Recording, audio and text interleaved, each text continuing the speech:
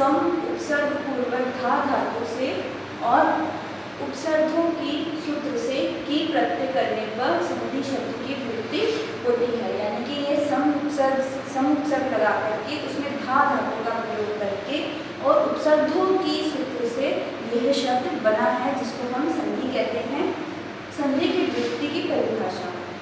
कि संधि शब्द की परिभाषा क्या है? यानी कि वर्ण संधानम संधि, यानी कि हम संस्कृत में अगर इसको शॉर्ट रूप में पढ़ना चाहें इसकी संधि को तो हम कहते हैं कि वर्ण संधानम संधि, यानी कि वर्णों के मेल को संधि कहते हैं। और इसी को हम अगर हिंदी में समझने के लिए पढ़ना चाहें तो दो शब्दों, दो वर्णों के परस्पर मेल को हम संधि कहते हैं। यानी कि जो अ, आ, या, ई ई ऊ शब्द हैं या फिर व्यंजन में ले ले तो क, ख, ग, इन वर्णों का जो मेल होगा, उन मेलों को हम क्या कहेंगे? संधि।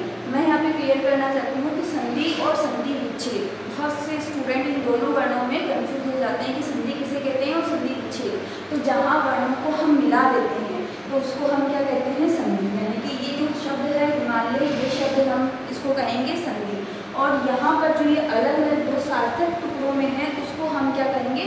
संधि विच्छेद यानी ये दो हैं तो यहाँ पर ये क्या हो गया? संधि विच्छेद और वो जो जो दोनों शब्दों को, दोनों वर्णों को मिला करके लिखा गया है, उसे हम कहेंगे संधि। तो इस तरह से दो वर्णों के परस्पर मेल को हम क्या कहेंगे? संधि कहेंगे। फिर हम संधि के भेदों के बारे में जानते हैं कि संधि के कितने भेद होते हैं।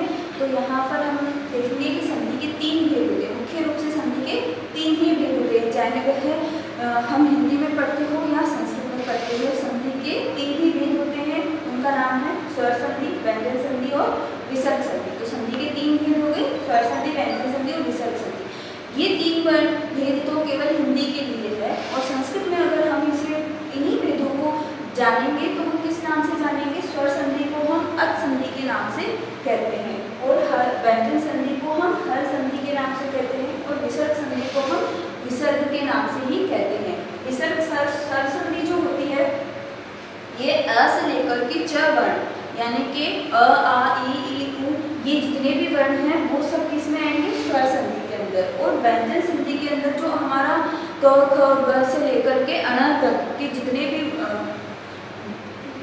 य तक के जितने भी वर्ण आएँगे, वह सारे वर्ण किसमें आएँगे?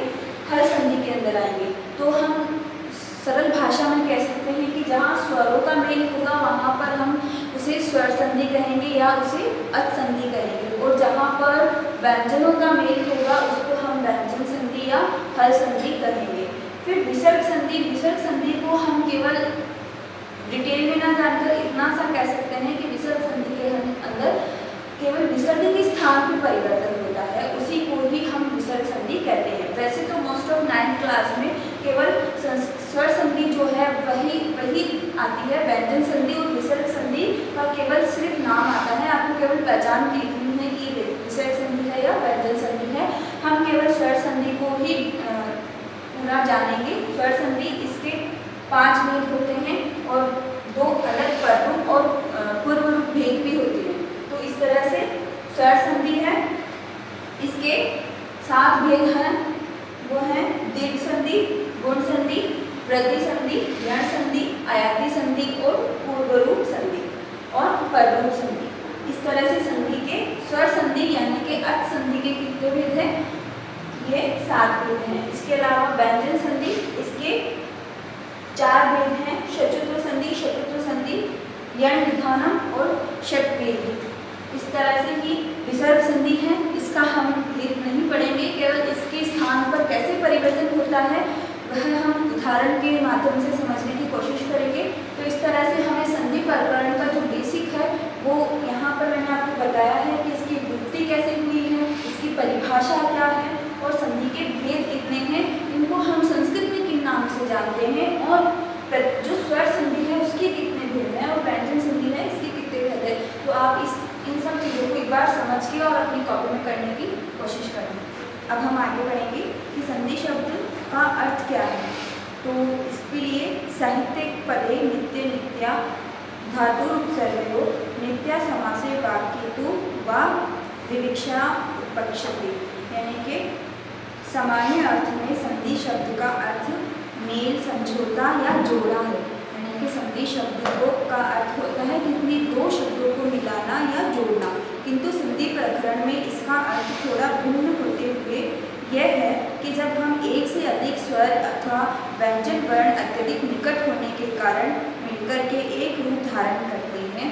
यानी कि दो वर्ण जब मिलकर के एक रूप धारण करते हैं तो वह संधि का परिणाम होता है। और यही संधि करना कहलाता है। जब हम दो वर्णों को मिला देते हैं तो वह क्या कहलाती है? संधि। संधि युक्त पद में दो या दो से अधिक शब्दों को अलग अलग करके रखना संधि विच्छेद कहलाता है। जैसा कि मैंने बताया था कि जिन शब्दों को हम अलग कर रहे हैं, दो सार्थक अर्थों में वह क्या कहलाएगा? संधि विच्छेद। जैसे कि हिम प्लस आल्य में, हिम में म में, अ के स्थान पर, के सामने आल्य का आल्य का आ मौजूद है। यहाँ दोनों और अ और आ स्वर है। इन दोनों स्वर वर्णों को मिलाकर के हम दीर्घ आ हो जाता है इससे हम हिमालय को मिलाकर के हिम प्लस को मिलाकर के हिमालय शब्द की उत्पत्ति करते हैं और ये जो शब्द है, वह सिंधी युक्त शब्द कहलाता है। हिमालय हिम प्लस आलय ये दो अलग अलग पद होंगे। यह स्वर संधि के दीर्घ भेद का उदाहरण है। और ये जो हिमप्लस आल्य है, हम कौन सी संधि का उदाहरण मानेंगे? हम इसको दीर्घ संधि का उदाहरण मानेंगे कि जहाँ पर दो मिलकर के दीर्घ हो जाते हैं, उसको हम क्या कहते हैं? दीर्घ संधि यानी दीर्घ होने का मतलब है कि दो शब्द मिलकर के वहाँ पर वह वृद्धि को प्राप्त हो रहे हैं, वृद्धि कर रहे हैं अपनी मात्रा में। तो वो क्या होगी? दीर्घ संधि इसी प्रकार से नम प्लस टे में, नम के, में म के स्थान के आगे विद्यमान विसर्ग को अत सामने होने के कारण स होने से नमस्ते संधि युक्त पद बनता है। यह विसर्ग संधि के अंतर्गत सत्व का उदाहरण है। यानी नमस्ते शब्द जब हम बनाएँगे तो उसमें म के आगे जो विसर्ग है, उस विसर्ग को हम स शब्द में बदल देंगे और ये कौन से संधि का उदाहरण होगा? सत्व संधि का। यानी कि सत्व संधि जो होगी, जो विसर्ग संधि का भेद है, इसमें जैसे हम बनाएँगे नम प्लस ते। जैसे कि ये शब्द बनाया हमने, नमा प्लस टे तो इसके अंदर जो ये जो विसर्ग है, इस विसर्ग के स्थान पर हम सत्व संधि का प्रयोग करेंगे तो ये हो जाएगा नमा और ये जो संधि है इसका ये संधि बनेगी इसमें तो इस स जो है, यहाँ पर त आधा बन जाएगा और ये हो जाएगा नमस्ते। तो इस तरह से ये नमस्ते शब्द बनेगा और ये कौन सी संधि हो जाएगी? विसर्ग संधि और विसर्ग में भी सत्व संधि यहाँ पर क्या होता है कि त से पहले अगर कोई स होता है तो उसको हम विसर्ग स्थान पर स्व आदेश देते हैं। इस प्रकार नव संधि के भेद सामान्य रूप से संधि तीन भेदों में मानी गई है। जैसा कि हमने पढ़ा था कि स्वर संधि, व्यंजन संधि और जिसको हम अच अल हल और विसर्ग संधि के नाम से जानते हैं। जहाँ स्वरों का परस्पर मेल होता है, उसको हम स्वर संधि कहते हैं। जहाँ व्यंजनों का परस्पर मेल होता है, उसको हम व्यंजन संधि कहते हैं। और जहाँ विसर्ग संधि, जहाँ पर विसर्ग का मेल होता है या विसर्ग स्थान में परिवर्तन होता है, उसको हम क्या कहते हैं? विसर्ग संधि। फिर हम पढ़ेंगे स्वर संधि या अर्थ संधि। तो इसके जो भेद हैं, वो कितने हैं? सात हैं दीर्घ संधि कौन कौन से हैं? देख संधि गुण संधि प्रति संधि यण संधि आयाति संधि पूर्व और पर इस प्रकार से इस संधि के सात भेद हैं। अब इन संधि के जो भेद हैं, उसको, इन संधि के जो भेद हैं, उसको हम संस्कृत नाम से भी जानेंगे। कि जैसे कि दीर्घ संधि है, इसको हम संस्कृत में, इसका जो डेफिनेशन है, उसको कैसे पढ़ेंगे? तो इसको हम पढ़ेंगे अंक अवर्ण दीर्घ यानी कि जहाँ पर दो वर्ण मिलकर दीर्घ हो जाते हैं, उसको हम कौन सी संधि कहते हैं? दीर्घ संधि। जहाँ यहाँ पर इसको हम हिंदी में अगर पढ़ना आ जाए तो कैसे पढ़ेंगे? जहाँ दो वर्ण मिलकर के दीर्घ हो, उसे दीर्घ संधि के नाम से जाना जाता है। अब हम आगे पढ़ेंगे इनके सूत्र, कि दीर्घ संधि, व्यंजन संधि और विसर्ग संधि के जो सूत्र हैं, वो कौन कौन से हैं? तो दीर्घ संधि का सूत्र है, अ, आ, प्लस, अ, आ, बराबर में आ। यानी कि आपको क्या करना है कि ये जो शब्द हैं इनका हमेशा दिल ही होगा दिल से कि जैसे ई है या फिर टुकड़ा ई ई का हो या छोटी ई, बड़ी ई का हो तो भी ई ही होगा। मैंने और ई और ई होगा, ऊ और ऊ होगा तो भी उसका ऊ ही होगा। तो इस तरह से ये इनके सूत्र हैं। जैसे कि गुण संधि गुण का है अ, आ प्लस ई ई, ए। अ, आ प्लस ऊ, ओ। और ये अ, आ, ये बन करके अर बनेगा, अ, आ, प्लस बी बन करके अल बनेगा। और ये संधि है वृद्धि संधि। यहाँ पर वृद्धि संधि है। इस वृद्धि संधि में आपको क्या करना है? अ, आ, प्लस ए ए मिलकर के ए ही बनेगा, अ, आ, प्लस मिलकर ओ ओ मिलकर के ओ बनेगा। तो इस तरह से जहाँ पर वृद्धि होगी, वो क्या होगा? वृद्धि संधि। फिर यण संधि, इसके अंदर आपको क्या करना है? ई ई, उ, री और ल ये शब्द जहाँ पर भी होंगे। और प्लस इसके साथ में यहाँ पर कोई भी भिन्न स्वर होगा। कुछ भी स्वर को लेकिन वो भिन्न होना चाहिए। जैसे अ के बाद में अ आ जाए, ए आ जाए तो इस तरह से कोई भी भिन्न केवल स्वर होना चाहिए। व्यंजन नहीं होना चाहिए। यहाँ पर भिन्न स्वर आना चाहिए। तो इसके बाद में जो भी चीज़ होगा, वर्ण का स्वर होना चाहिए, परंतु वह इधर वाले से भिन्न होना चाहिए और उसको आदेश क्या हो जाएगा? ई को यह ही आदेश होगा। अब हम इसका क्रम ध्यान रखेंगे। अगर ई है और कोई भिन्न स्वर है तो उसको यह आदेश होगा। ऊ है और अगर कोई भिन्न स्वर है तो उसको वह ही आदेश होगा। री है और अगर कोई भिन्न स्वर है तो उसको र आदेश होगा। और र, री है और उसको कोई भिन्न स्वर है तो उसको र ही आदेश होगा।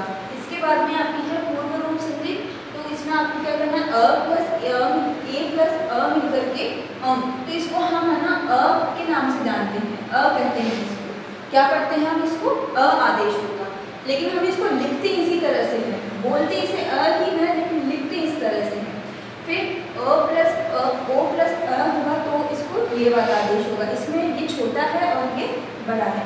फिर पूर्व पर रूप पर सवर्ण संधि तो इसमें क्या होगा?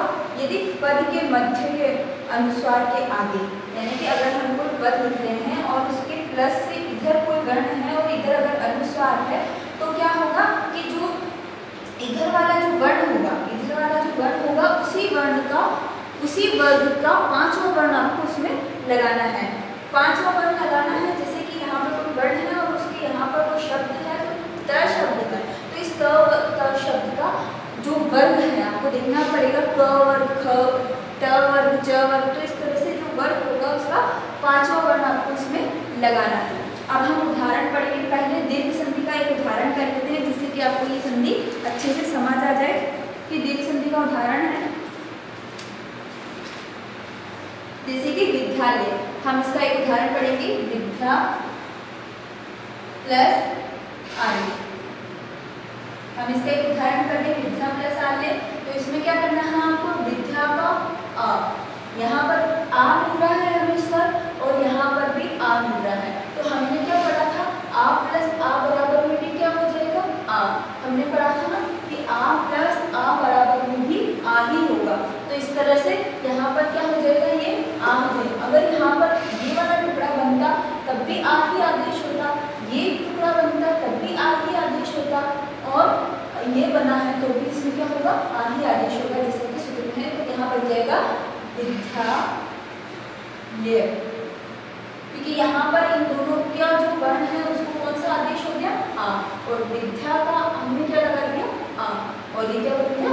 आदि ये कौन सा शब्द बन गया? विद्यालय। ये हो गया दीर्घ संधि का एक उदाहरण। अब हम पढ़ेंगे, दीर्घ संधि का ही एक दूसरा उदाहरण जो कि होगा ईव संधि का तो हम यहाँ पे पढ़ देंगे जैसे कि रवि प्लस रवि प्लस इंद्र। हमने पढ़ा रवि प्लस इंद्र। तो ये क्या हो जाएगा? रवि। जैसे कि आपने यहाँ पे लिखा रवि और हमने क्या पढ़ा था कि यहाँ पे हमें क्या मिल रहा है? छोटी ई और यहाँ पर भी हमें क्या मिलेंगे छोटी ई। तो हमने क्या देखा? छोटी ई, छोटी मिल करके बड़ी ई मिल जाती है। तो यहाँ पर क्या हो जाएगा? ये दीर्घ हो गई ना? तो ये हो जाएगी रवि ये बन जाएगा रविंद्र शब्द। इसी तरह से रविंद्र शब्द बन जाएगा। इसी तरह से एक उदाहरण हम उनका देख लेते हैं।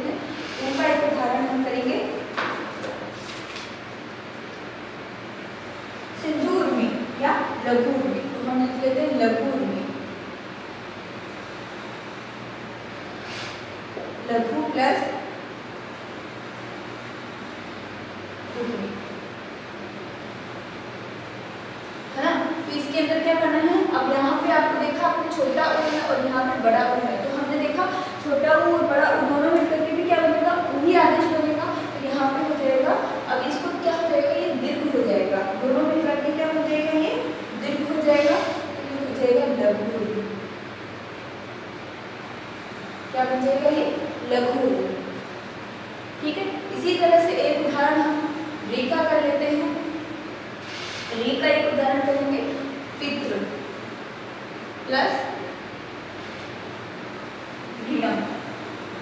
तो हमने देखा कि दोनों में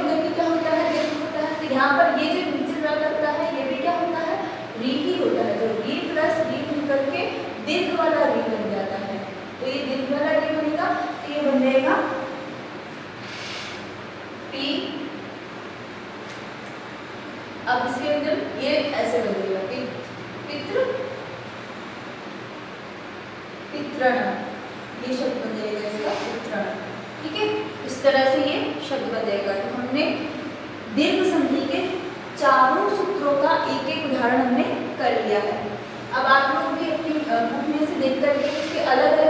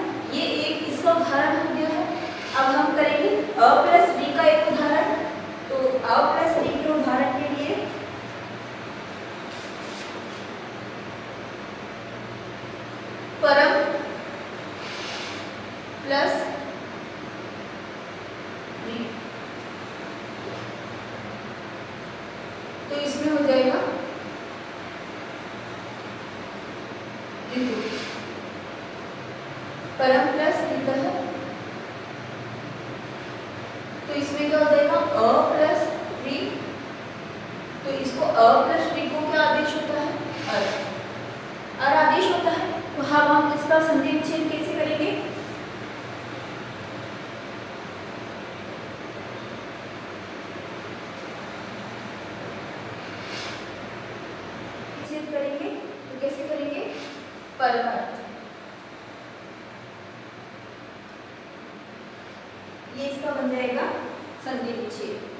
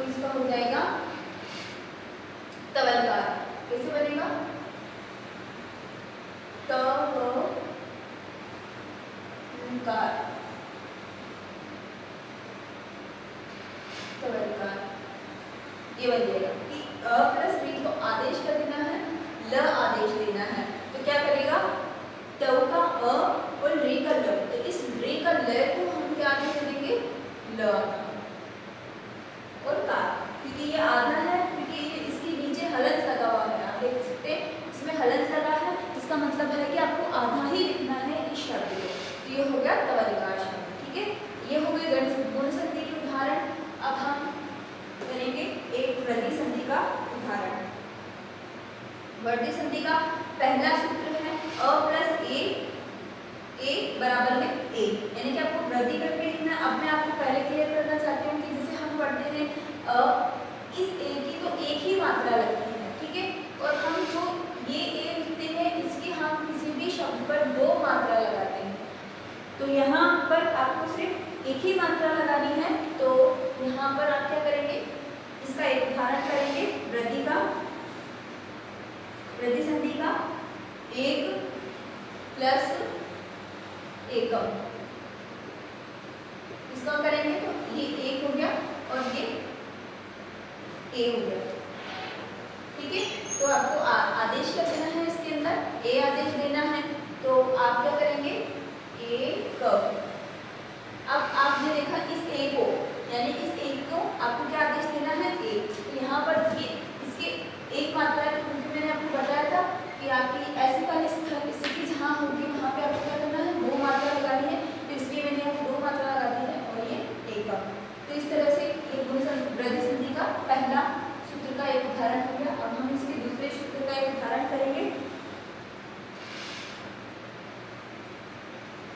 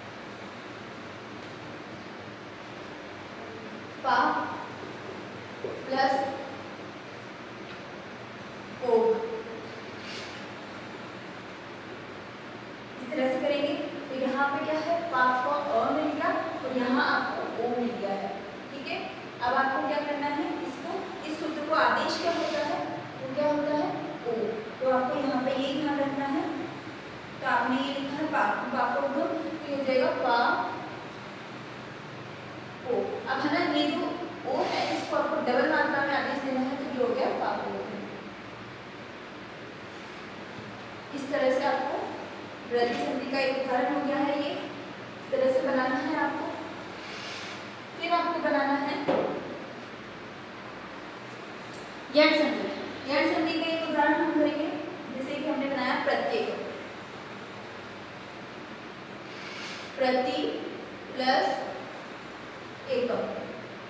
अब यण संधि के अंदर आपको ये समझना है कि पहले इसका संधि विच्छेद का वर्ण बोल के देख लीजिए, प्रति। तो यहाँ पे आपको क्या मिल रहा है? ई छोटा मिल रहा है और ए मिल रहा है। जैसा कि मैंने आपको बताया था कि पहले तो क्या होना चाहिए? ये वर्ण होनी चाहिए, साथ में ही आपको भिन्न स्वर होना चाहिए, लेकिन होना स्वर चाहिए, बैठे नहीं होना चाहिए। तो यहाँ पर आपने क्या करा है? एकम। तो यहाँ पर आपको क्या करना है? स्वर ही मिल रहा है आपको। तो आपको यहाँ पता चल गया कि स्वर मिल रहा है और ये टुकड़ा बन रहा है तो इसका आदेश क्या होना है? य तो यहाँ पे आप लिखेंगे कि इसको आदेश य होना है। तो हम ये बनाएँगे प्रति अब आपको ये वाला जो ये है, इसकी जगह आदेश क्या देना है? ये आदेश देना है है ना तो और आपको क्या करना है इस चीज़ में यहाँ पे ये भी ध्यान रखना है कि जिसको आपने आदेश दिया है जिस वर्ण को आप आदेश दे रहे हो उस वर्ण से ठीक पहले वाला जो वर्ण होगा, वो ऑटोमेटिकली आधा हो जाएगा। जैसे कि ये त, जैसे आपने ए को आदेश दिया है तो आप ई की मात्रा से पहले जो वर्ण है, क्योंकि तो मात्रा को तो हम काउंट ही नहीं कर रहे, हम क्या कर रहे हैं तय को काउंट कर यहाँ पर तय क्या हो जाएगा? आधा हो जाएगा। तो यहाँ पे यह तय आधा हो जाएगा, और ये ए को आदेश क्या हो जाएगा, ये एकम मेरे कहने का मतलब है कि जिसको आपने आदेश दिया है, जिस वर्ण को पहले वाले वर्ण को आप आधा कर दीजिए तो ये हो जाएगा प्रत्येक इसका एक उदाहरण हम और कर लेते हैं ताकि इसको अच्छे से समझ में आ जाए।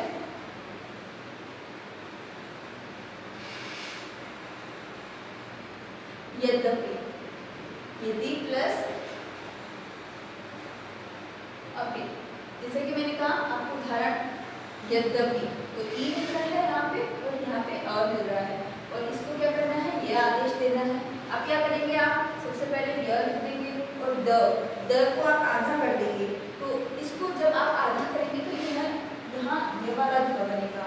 और क्योंकि आपने एक तो ये वाला द प्लस करके एक तो ये वाला ध बनता है।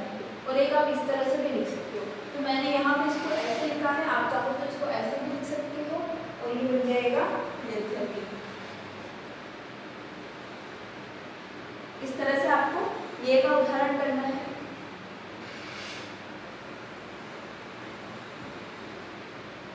फिर आपको मिल गया है ऊ। तो ऊ प्लस भिन्न स्वर तो ये हो गया। उसको आदेश क्या देना है? वह आदेश देना है। तो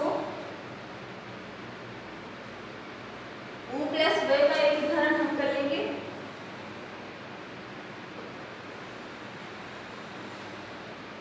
इसका एक उदाहरण मैं यहाँ पर भी आपको बता देती हूँ। अनु प्लस अय अनु प्लस अय तो ये हो जाएगा अन्वय इस तरह से आपको करना है री का एक उदाहरण हो जाएगा मात्र प्लस आज्ञा मात्र आज्ञा तो आपको क्या करना है मात्रा ज्ञा ठीक है यहाँ पर री मिल गया है और अ मिल गया है तो री को आपको आदेश क्या करना है र तो हो जाएगा र। ये वाला आदेश होगा यहाँ पे इसको री का ये आदेश हो जाएगा। तो ये हो जाएगा मात्रा क्या इस तरह से अब हम करेंगे पूर्व रूप संधि। पूर्व रूप संधि, इसमें आपको क्या करना है? ये अ का प्रयोग करना है। जैसे कि साधो प्लस अर्थ साधोत्र